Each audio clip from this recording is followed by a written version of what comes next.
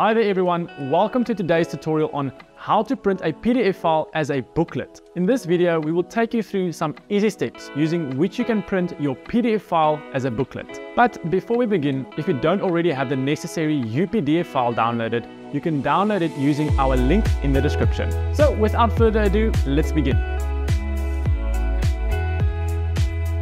After running UPDF on your PC, open the home page and click Open File to open PDF you want to print as a booklet. Then go to File and you'll see a Print button. You'll see the print sizing and handling option. Click on the menu next to it and select the booklet in the drop-down list. Next, you can update the booklet subset. From there, you can choose further format options including both sides, front side only and back side only option. Simply click on the one you want. When you finish all settings, all you have to do is click on the highlighted print button. Select where you want to save the printed booklet, name it and click the save button. And there you'll print PDF as a booklet successfully.